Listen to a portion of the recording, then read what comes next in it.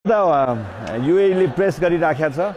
अलिकता धैर्यता राखेर अलिकता स्टेबल खेल्यो भने चाहिँ अवश्य रूपमा चाहिँ अब एक ओभरमा चाहिँ पन्ध्र रन जति हामीले हान्न सक्यो भने हाम्रो जित सुनिश्चित छ।